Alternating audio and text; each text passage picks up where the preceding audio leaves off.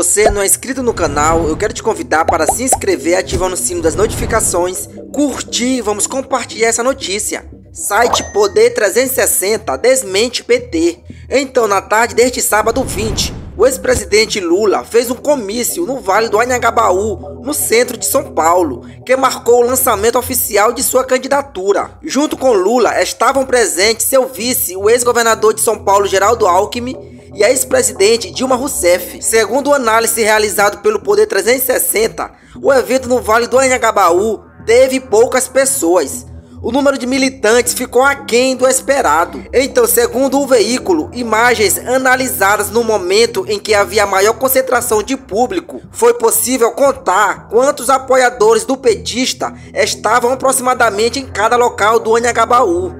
De acordo com essa contagem, o evento no centro de São Paulo teve cerca de 4.200 pessoas presentes. Já o PT disse que 70 mil pessoas compareceram, número que não aparece nos vídeos no comício do ex-presidente Luiz Inácio Lula da Silva.